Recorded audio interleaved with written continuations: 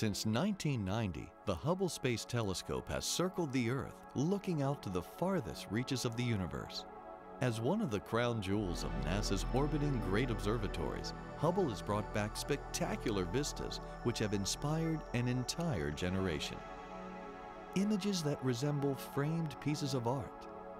Images so powerful that they are known worldwide we'll take a guided tour of some of the best Hubble images taken throughout the years. Planets are captured with details revealing their complex weather systems, violent sandstorms, the dazzling light of auroras, and the rhythmic dances of moons and their shadows. Hubble gave us a ringside seat to viewing a one in a million comet collision with giant Jupiter.